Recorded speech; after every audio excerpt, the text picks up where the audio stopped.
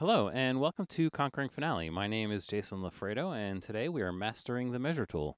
We're talking about split measures today, and what I mean by split measures is, you know, sometimes you might have something like this where you've got some sort of cadenza here, and you may want to split half of this measure uh, to go down to the second system. So that's what we're talking about. We want we're going to split this measure into two pieces.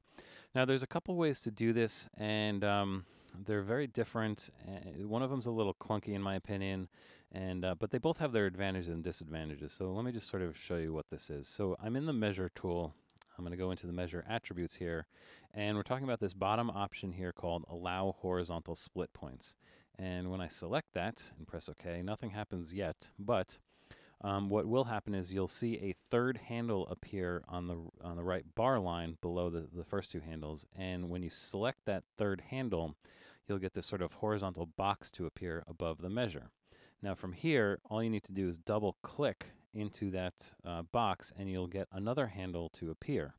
Now this handle can be grabbed and you can move it around and wherever you place it, that's where the split point is going to be uh, when you split this measure in half. So uh, you just kind of have to be very careful about dragging this to the correct place because I found that even between notes, where you place it actually kind of uh, makes a difference as to where the um, how the notes are spaced at the end and the beginning of, of the system. So I found that you want to get pretty close to the, the first beats of the, uh, the next system. Um, once you have this uh, handle here, by the way, you can just select it and delete it. Again, double click adds it. So, uh, so now we've got a horizontal split point and we exit out of here and still nothing has happened. We still have just this one bar on the first system here. But with the selection tool, you select that bar and press the down arrow and now all of a sudden it splits that measure into two pieces right at that split point. And uh, normally when you press the down arrow, it would move the entire measure down to the second system, but in this case, it just moves the, the second half down to the second system in this case. So um, once you've done this though, pressing up, down doesn't do anything. It doesn't recombine these measures or anything, so you're kind of stuck with it like this.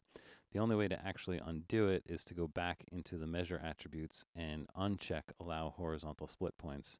And then it will combine that again, although it might put it on the second system here, so you can just uh, shoot it up to the top again. All right, so that's sort of, I, I believe that's kind of the old way that Finale created to do this. Um, uh, it is an interesting way to do it. There's definitely some issues with it that I kind of want to point out. First is that, actually, let me go ahead and do something here. I'm going to add a chord in this left hand part. We're going to do um, a dotted whole note tied to a whole note tied to a dotted half note. There we go. And um, depending on where this split point is, um, if it happens to be sort of in the middle of where you know the notes are in a tie, um, some strange things will happen when you split this measure. You know, you'll get the you'll get the whole note with a tied note here, but then does, there's no tie in the second system, which is just looks incorrect, and there's like a beat here of nothing happening. It's it's just it doesn't really work for me very well uh, in that regard. Um, the other issue is that you'll get some weird results with the bar rests. Like you won't see bar rests in, in all the other parts. So, you know, that's kind of strange. And then also, even probably maybe even stranger is that the bar numbers will get put in the wrong place. You'll have no bar number at the beginning of bar three, but it will appear on the second half of bar three, which is just seems kind of wrong to me. Um, but anyway, so that's one way to do the split measures is with that uh, allow horizontal uh, split position. But let me just uncheck that for now. And uh, the second way, and I think a little bit slicker, is to actually uh, create two frames. Now, as I've been talking a little bit about in this series, you know, Finale manages measures as frames, right? So all the way up and down the score is a single frame. And uh, so what we can do here is actually split this into two separate frames, and that involves sort of changing the time signature, um, hiding the time signatures, um, you know, putting the, the second bar on the second system, or the second half of the bar on the second system, all this stuff. I could do that manually, but there's a great little plugin uh, in the measures section here called Split Measure, which will do this exactly the way I want it to. And it's really easy to use this utility. You just have to decide after what beat would you like to split the measures. So in this case, uh, yeah, sure, measure, let's actually one, two, three, four, five. Yeah, after measure six, that works. And you can choose to a bar line style either invisible or dashed if you want. And you also have the option to move that second part of the split measures to the next system. And I've got invisible and move selected here, so check OK. And you'll see that it will actually split that measure for me and it's a little bit better. The spacing is going to be a little bit better because again, Finale is is better just at thinking in terms of frames. So this is actually going to be spaced out correctly, um, and uh, you'll see that it handles the ties correctly now. The tie is correctly tied to the um, to the note here. And actually, what's really cool about this is if I were to split this in a different place. Let me just show you this. Let's say I'm going to split it after beat four instead uh, which is going to be in the middle of this dotted whole note, by the way. You'll see that Finale will actually calculate this correct. So it turned that dotted whole note into a whole note and then added a half note down here so with a tie and everything. So it actually kind of is a little bit slicker in that regard uh, in terms of dealing with the ties. Um, the other thing it does is that it will um, change all of the rests for you. So in this case, it's actually putting in a uh, uh, I don't know what that is, uh, eight, uh, six, nine measure, nine beat rest or something like that. So um, you know that's an interesting piece of it that you may or may not want. And I believe that these are actually real. Yeah, they're, they're actually real whole rests here. So if you needed to get rid of that, you could actually just select those empty measures and press delete, and that will actually uh, turn those into um, whole rests.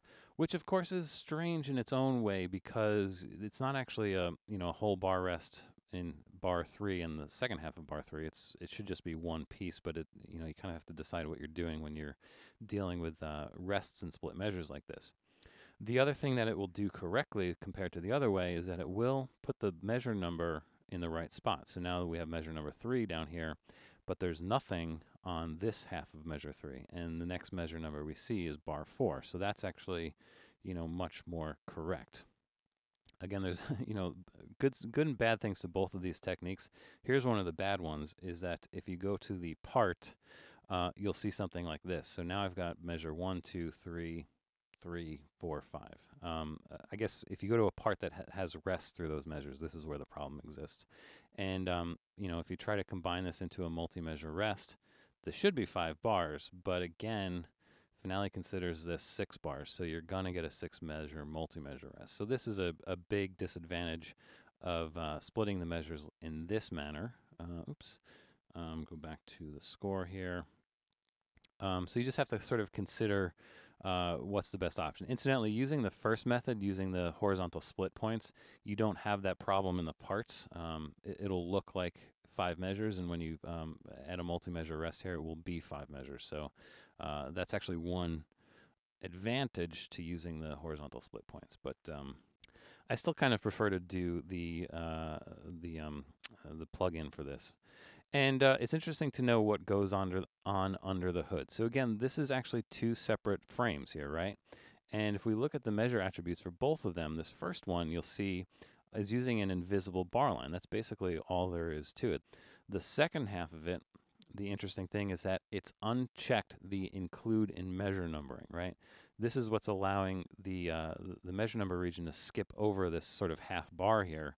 So it goes one, two, three, skip measure four, or five, etc., and on its merry way. So that's that's another um, uh, advantage of doing it with the uh, plugin is that it will take care of that automatically. In addition, I mentioned that it, you have to do something with the time signatures. So in this measure, it changed it back to 4-4, but in this measure, it changed it to 9-4. Originally, this was a 13-4 uh, measure, I believe. Uh, so that's you know, one more advantage. So again, it will take care of the ties correctly. It will take care of the, um, you know, all the measure attributes and everything. And uh, let me just, if I keep undoing, I can get back to original here. There we go. The last thing I want to mention about this plugin is that it's actually kind of handy if you want to do something slightly different. So let's go into the measures split measure plugin. Uh, I mentioned that you could use a dashed bar line. You could also not move it to the second uh, uh, system here. And uh, let's say we're going to put this after uh, beat 8, for example, and click OK. And Finale will nicely put that dashed bar line in the middle of this, and it will actually go ahead and um, split that whole note for you as well, uh, which is probably makes sense. But um, you know, so this is a this is a great way to just kind of split the measure in half in this manner, where you get the dashed bar line. And again, uh, measure three, nothing in measure four, measure four. I mean, as far as bar numbers are concerned, and it's the same exact thing. This measure has the include in measure numberings unchecked, and uh, measure three just has the dashed bar line selected. So, um, so that's what's going on there. Um, and yeah, so I think that's, you know, that's the idea behind splitting measures. There's a couple different ways to do it. Again, there's advantages and disadvantages to both, but um, you know, you kind of have to choose based on what the context of what you're doing. If you're doing a piano score and there's no other parts, sometimes using that horizontal split um, option in the measure attributes might not be so bad. Um, but uh, you know, it just depends on the context. So anyway, so that's how you split measures uh, across systems in Finale or split measures uh, on the system with dashed bar lines if you want to do it that way. And uh, so yeah, so I hope that's helped. Uh, thanks for watching and come back soon and we'll talk about some more videos. All right, see you then.